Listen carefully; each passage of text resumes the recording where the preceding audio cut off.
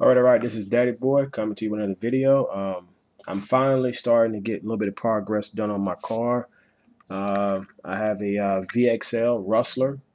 As you can see now, I have a Castle Creation, and uh, I've been making my upgrades. Oh, I want to give shout out to uh, Draven, Geo Steph, Hockey Dude, um, a car named Dizzy, uh, car named Damien, and uh, some other guys out there that's running real fast cars. Um, but my setup primarily comes from uh, Draven's setup. Um, he has the XL2 ESC. Um, can't can't pull that off, so I went with my second best ESC that I could put in my car.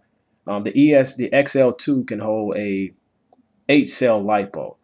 And so I will not be running eight cells on my car, um, but I will be running six cells with um, this ESC right here. I picked this up, um, I think, yesterday. This is a pretty, um, it runs uh, six cell LiPo max, eight out eight amp pack. Um, so I can't wait to get this in the car and uh, see what it can do. Um, but right now, the only problem I'm having is uh, I don't have a gearbox. Um, I have a new motor for this right here. I got the motor out of the um, out of the E Revo. I went and got the uh, 22. What is this? 22 kV. I don't know if you can see that or not. It'll focus. This camera is real bad. Sorry about that, you guys. It's probably there. Okay, 22 kV uh, Traxxas motor.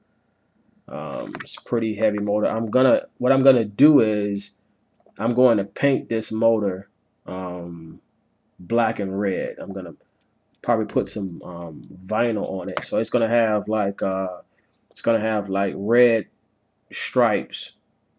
I'm gonna leave this black, leave this black, but I'm gonna put red in between here.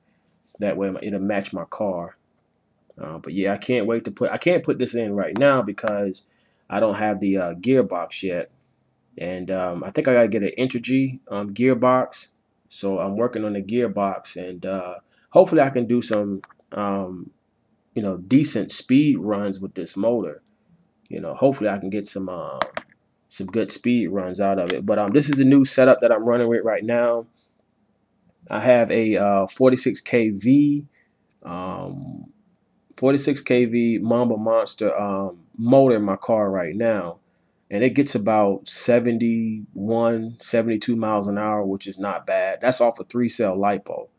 Um, what I might do is just put this ESC in there and run this off of the 4600 kV motor and maybe put a six pack on that um, 46 kV motor. But that it's a four pole motor. Um, the problem I'm having on that motor is that that motor run hot. I don't know if anybody has that motor out there, but I don't. Maybe it's just my car, but I have that motor, but it runs hot.